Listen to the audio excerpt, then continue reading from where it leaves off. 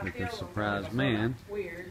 Because is everybody looking at us? I want to express appreciation for you do for us and come on, do it for Synergy.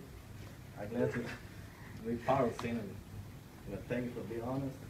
You know, you're the first person you are honest with us. And apologies for appreciation. We gave you the, the gift of that. No.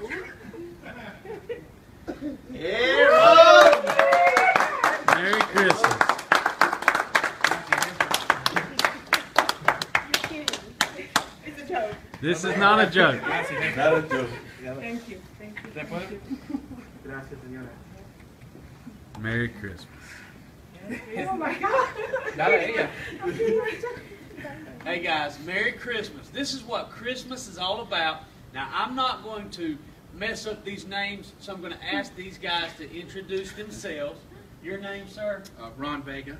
And will you tell us why you're here today? Well, I, I, I thought something was wrong with my boss, so I came rushing uh, here to check on his well-being, actually. And and his wife came to me hysterical. You need to come, come, and I'm here now, and I'm, I'm I wasn't expecting a, new, a car, you know. Never.